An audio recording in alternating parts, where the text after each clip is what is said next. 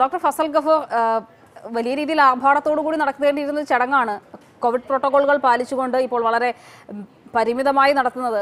താങ്കൾ എങ്ങനെയാണ് ഇന്നത്തെ സത്യപ്രതിജ്ഞാ ചടങ്ങിനെ നോക്കിക്കാണുന്നത്? കാണുന്നത് അത് ആദ്യം തന്നെ നമ്മൾ വിചാരിച്ച മാതിരി ഒരു സ്റ്റേഡിയത്തിൽ നടത്തുന്നു എന്ന് പറയുമ്പോൾ ഒരു സ്റ്റേഡിയം നടന്നു നാൽപ്പത് ഇരുപതിനായിരം ആൾ അല്ലെങ്കിൽ മുപ്പതിനായിരം ആൾ ഇരുന്ന് കാണുന്ന പരിപാടിയൊന്നുമല്ല. ഈ സ്റ്റേഡിയം എന്ന് പറഞ്ഞിട്ടുള്ള ഒരു തിരഞ്ഞെടുത്തിട്ടുള്ളത് ഒരു ഒരു എന്താ പറയാ വിശാലമായിട്ടുള്ള നല്ല ആ, വായുവെള്ള സൗകര്യമൊക്കെ ഉള്ള ഒരു സ്ഥലമാണ്. ഓപ്പൺ എയർ ഈ ഓപ്പൺ എയർ സാധാരണ നമ്മളിപ്പോ രാജ്ഭവന്റെ ഉള്ളിൽ നടത്തണമെങ്കിൽ അത് ഓപ്പൺ എയർ അല്ല. മനസ്സിലല്ലേ ഒരു ഹാളാണ് അപ്പൊ അടച്ചിട്ട മുറി എന്നുള്ള ഒരു സംവിധാനം വരെയാണ് അപ്പൊ ആ അതിനേക്കാളും ഭേദം ഒരു ഓപ്പൺ എയർ ആയിട്ടുള്ള ഒരു മൈതാനം വെച്ചാണ് മാത്രമല്ല സർക്കാർ അത് ഭയങ്കരമായിട്ട് നിയന്ത്രിച്ചിട്ടുണ്ട്. എന്റെ അറിവ് ശരിയാണ് ഈ മുന്നൂറിലധികം ആൾക്കാർ അവിടെ ഉണ്ടാവാനായിട്ടുള്ള സാധ്യതയില്ല. അപ്പൊ അങ്ങനെ നിലക്കുന്ന നിൽക്കുമ്പോൾ ഇത്രയും വലിയൊരു സ്പേസിന്റെ ഇടയിലാണ് മുന്നൂറ് ആൾക്കാർ നിൽക്കുന്നത്. അത് വേണ്ട രീതിയിൽ കോവിഡ് ഇതെല്ലാം പ്രഖ്യാപിച്ചുകൊണ്ട് R T P C R test ചെയ്തവർ ചെയ്തൊരു ആൾക്കാരെ അല്ലെങ്കിൽ ഡബിൾ വാക്സിനേഷൻ ചെയ്തിട്ട് ഡബിൾ ഡോസ് വാക്സിനേഷൻ ചെയ്തിട്ടുള്ള ആൾക്കാരെ. പിന്നെ മാത്രമല്ല സംശയം ഉണ്ടെങ്കിൽ അവിടെ ആന്റിജൻ ടെസ്റ്റ് ചെയ്യാനായിട്ടുള്ള സൗകര്യം ഒക്കെ ഏർപ്പെടുത്തിയിട്ടുണ്ട്. പല വഴികളിലൂടെയാണ് ആൾക്കാർ വരുന്നത്. അല്ല ഒരു എൻട്രിയിലൂടെ അല്ല വരുന്നത്. പല എൻട്രിയാണ് അവർ പ്ലാൻ ചെയ്തിട്ടുള്ളത്. അപ്പൊ ആ നിലയ്ക്ക് പിന്നെ നമ്പർ സീറ്റിനൊക്കെ നമ്പർ ഇട്ട് വെച്ചിട്ടുണ്ട്.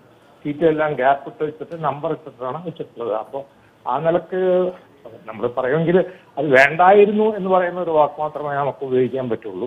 ഇപ്പോൾ ഉള്ള സാഹചര്യങ്ങളെ വെച്ച് നോക്കുമ്പോൾ മുന്നൂറ് പേർക്കുള്ള ഒരു ഓഡിറ്റോറിയത്തിനേക്കാളും ഭേദമാണ്. ഈ മുന്നൂറ് പേർക്ക് ഇത്രയും വലിയൊരു ഒരു സംവിധാനം എന്നാണ് ഞാൻ അതിനെ കാണുന്നത്.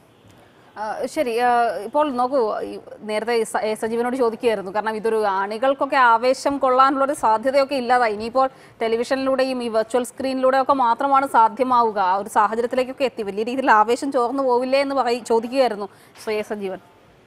ശ്രീ ഫസൽ ഗഫൂർ. അതെ ആവേശം എന്ന് പറയുന്നത് കുഴപ്പമില്ല. പക്ഷെ നൂറ്റി നാൽപ്പത് എം എൽ എമാരെയും ഇരുപത് എം പിമാരെയും അതെ രാജ്യസഭ അടക്കം നൂറ്റി എഴുപത് എം പിമാരെയും അതേമാതിരി തന്നെ നമ്മുടെ നമ്മൾ എപ്പോഴും മറന്നു പോകുന്ന ഒരു വിഭാഗമുണ്ട്.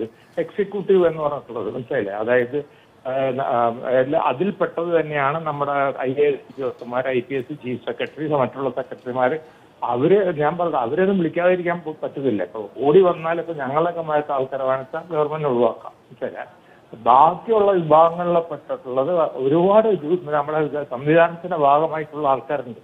ആ ആൾക്കാരെ ഗവൺമെന്റിനെ വിളിക്കാതിരിക്കാൻ പറ്റില്ല. മാത്രമല്ല അവിടെ പോയിട്ട് മുഖ്യമന്ത്രി പോയിട്ട് ചുമ്മാ അങ്ങോട്ട് ഇറങ്ങി സത്യപ്രതിജ്ഞ ഇറങ്ങി വരില്ലല്ലോ. അതിനൊരു ഒരു ഒരു ബ്യൂറോക്രാറ്റിക് സപ്പോർട്ട് ഉണ്ടാവണമല്ലോ ഈ പരിപാടികൾക്കൊക്കെ.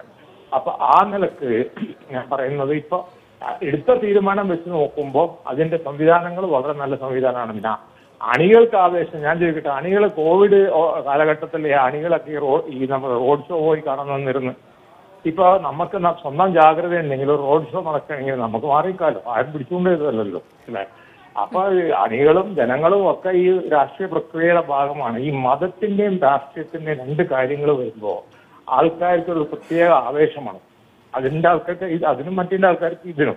അവിടെ വരുമ്പോ ഭരണകക്ഷിയും പ്രതിപക്ഷവും ഒന്നും ഉണ്ടാവില്ല. ഭരണകക്ഷി ആയിരുന്നെങ്കിലും ഇത് തന്നെയായിരിക്കും അവസ്ഥ ഉണ്ടാവും പ്രതിപക്ഷം സ്വീകരിച്ച നിലപാടിനെ താങ്കൾ എങ്ങനെ നോക്കിക്കാണുന്നു ശ്രീ ഫസൽ ഗഫൂർ? ഹലോ? പ്രതിപക്ഷം സ്വീകരിച്ച നിലപാടുണ്ടല്ലോ. അതായത് സത്യപ്രതിജ്ഞയ്ക്ക് പോകേണ്ടതില്ല അത് പ്രതിഷേധ രൂപേണയാണ്.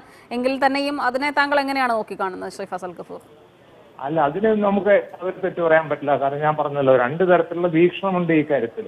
പക്ഷെ അതിലൊരു ഒരു ഇത് ഒരു കാര്യം ഞാൻ തീർത്തു പറയാം. ഇപ്പുറത്തെ അവസ്ഥ പ്രദേശത്തിന്റെ ഒരു ഭരണകക്ഷി അധികാരത്തിൽ വരണമെങ്കിൽ ചിലപ്പോൾ ഇതിനെക്കാട്ടും വലിയ മേളം അതാണ്. അത് ഏതായാലും ഇതൊരു കമ്മ്യൂണിസ്റ്റ് പാർട്ടി പരിപാടി ആയതുകൊണ്ട് അതിന്റെ അച്ചടക്കത്തിന്റെ കാര്യത്തിൽ നമുക്ക് സംശയിക്കേണ്ട ആവശ്യമില്ല. മറ്റുള്ളവരാണെങ്കിൽ അച്ചടക്കം ഒട്ടും ഉണ്ടാവില്ല ഇതിനെക്കാട്ടൊക്കെ ആൾക്കാർ ആവേശപൂർവം രംഗത്ത് വരും. അപ്പൊ അത് അതങ്ങോട്ടും കൂടും നമ്മൾ പറയാതിരിക്കുന്നതെന്നല്ലേ. രണ്ടുപേരും ഒരേ ശൈലി ഫോളോ ചെയ്യുന്ന ആൾക്കാരാണ്. ഈ പൊതുജന പ്രകടനങ്ങളുടെ കാര്യങ്ങളിലും നേരത്തെ പറഞ്ഞ മാതിരിയുള്ള പൊതു റോഡ് ഷോ മറ്റുള്ള കാര്യങ്ങളിലൊന്നും ഒരു വ്യത്യാസവും ഇവർ തമ്മില്ല മന്ത്രിസഭ ഉണ്ടാവുകയാണെങ്കിൽ ഇത് തന്നെ ആയിരിക്കും ഉണ്ടാവുക. ഒരു തർക്കവും വേണ്ട. അപ്പൊ അത് അങ്ങോട്ടും കൂടെ നമ്മൾ പറയാതിരിക്കുന്നതെന്നല്ല. ഇതിപ്പോ ഇവരുടെ ഊഴമായതുകൊണ്ട് മറ്റൊരുക്ക് അതിനെ പറ്റിയിട്ട് അവരെ വേണച്ചാൽ പഴിയാരാൻ പറ്റും. അത്രേ ഉള്ളൂ.